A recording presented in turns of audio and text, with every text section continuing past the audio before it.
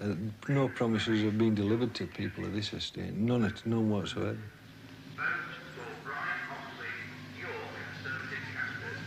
So you could start with once upon a time we all had jobs, ho ho ho ho, right? And because we had It, it was like a fairy tale. it was like a fairy, this is a fairy tale. Once upon a time we all had jobs, and we were earning, and we decided amongst ourselves to support those who weren't. We decided to look after each other. That's how it started because of all that we've just talked Yes, about. Yes, I think Manor People are fighting back. We've got quite a, a number of activists on this estate. I don't know yet whether you've ever met the theatre group.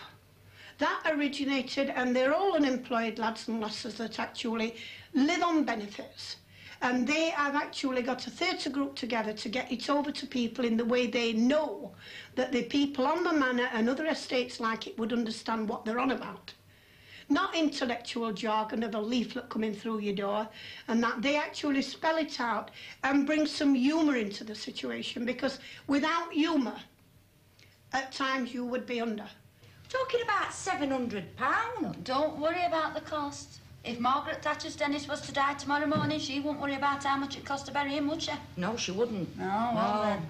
no. Your husband's worked all these years. It's about time we paid him back now. Well, there's one thing, love. At least I'll be able to bury him with dignity. Excuse me, what are you doing in here? Come on, let's have you out. John Goodyear, he came to one of our meetings and he were listening and this, that and the other. And then uh, all of a sudden he stood up and says, uh, well, has anybody ever been interested in doing theatre? So we all looked at him as much as say, Shakespeare? You know, we can't do Shakespeare sort of thing. So um, he says, no, he says, theatre's a good way of getting over to people. You know, any protests or anything like that, or anything you want them to know. We looked after one another. Yeah. Make that point Yeah. clear. Yeah, and there's There's an agreement that we look after one another. Yeah. We care. for- we care about them. her husband, so he can have a hundred pound as well. That's that's Yeah. what's got to come out. When we've put our show on, we've actually watched the people in the audience and they've been saying, oh, we didn't know that was going to happen. And is that going to happen to us? Are we going to have all this money cut off? And to me, the theatre group is um, a way we can get points over to people, whether it's political or whether it's just comedy or whatever, the, whatever it is. But at the same time, it's a relaxation for me.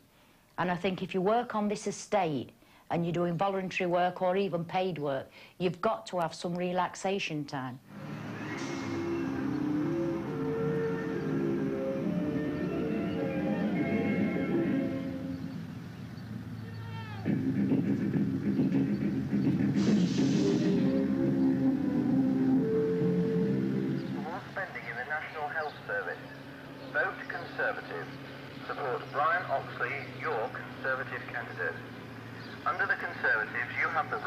high. Strikes are lower, unemployment is lower, taxes are lower.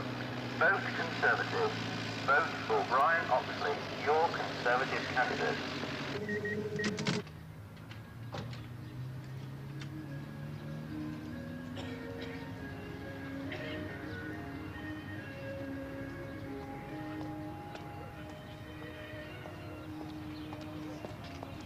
Thank you.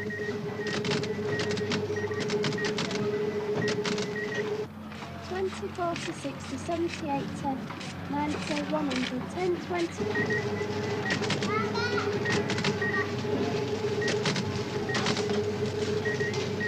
They look a bit spotty then. Yeah. about some of these up here, Barry? Take them. 27 pence here, I think. Take them. Can't get it down. 35 pence of oil cabbage. Yeah. Right. Get us a bag of onions. Right. Taters. Yeah. What about carrots? No. Swedes? Parsnips? No. No?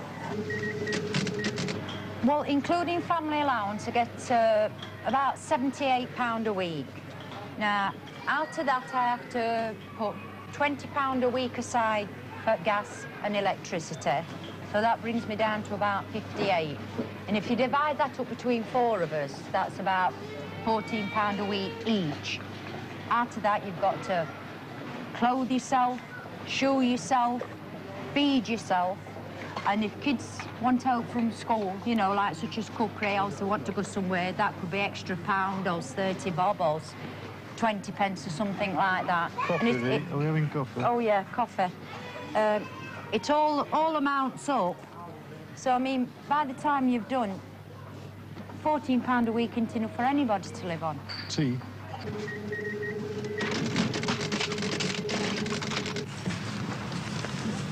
Hey, what? Are you looking for anything at market? I want some white shoes. Why? The black is all right, but the white and full of taste. I want a pair for some boots. Yeah, I want some for our Cheryl.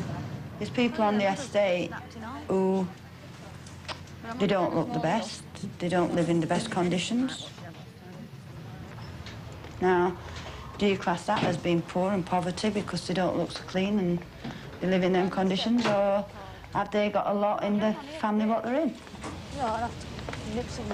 I go to the Wednesday market. I mean, everyone calls it unemployed market. I don't know how it first got its name, I'm sure. Uh, probably because it's second-hand clothing. Twelve to ten. Real Keller. Yeah. I go down for shoes for my oldest girl. Um, so, yeah, I go for the bargains in the shoes. Will she wear yellow? I should imagine she wear any colour as long as it's shoes. Can I take these down, love? Four ninety nine. You gonna try that one on? Not know why. I don't think they... What she wants... Ooh. What do you think? Myself? No, Yeah. if she'd wear No, them. I don't either. Yeah, they're not pointed enough, are they? How did these come back up here now? I feel sorry that when you're on unemployment, you afford nothing. You live hand to mouth. It's shocking to be there. You can't afford anything. If you, as much as a pound or two pound a week HB payments, it counts. Ideally, for you to be on unemployment or supplementary, whichever you call it, you can't have anything to be paid out in a week. You've got to exist, and that's all that people do, they exist. Over 60% of Manor people live on or below the official poverty line. 75% of householders have no car. And only 1% of people own their own homes. It's always been the dream and the ambition of the Conservative Party that what used to be the luxuries of the few should become the daily experience, indeed the necessities of the many. It's happening with homes, it's happening with shares, and it's happening with savings. And the result has been a greater prosperity. It's not only our standard of living that has increased, it means we've been able to put greater resources into health and social security. But you can only do that when you've first created the prosperity. And all this has been achieved by government and people together. The government running things well, like any good housekeeper, and the people responding.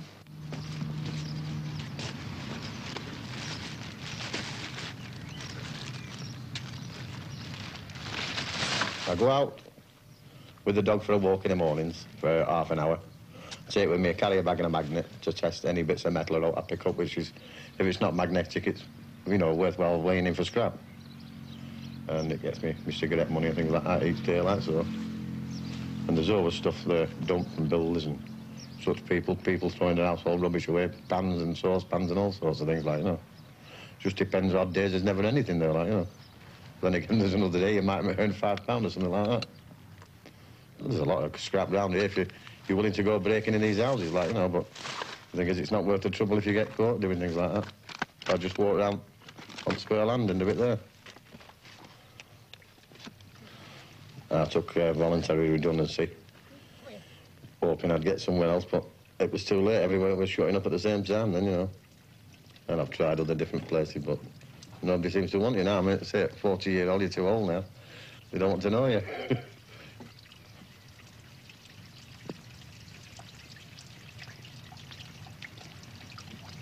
You might say to me, well, why do they get into a condition like this? Why do they uh, accept and just let things go around them? I can tell you why. Because they're so bloody well pushed down there that they can't lift themselves up anymore. They're so desolate. There's no hope. They're living in houses that's falling down round